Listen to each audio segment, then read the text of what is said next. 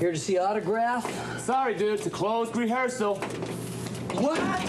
No way. Closed rehearsal, huh?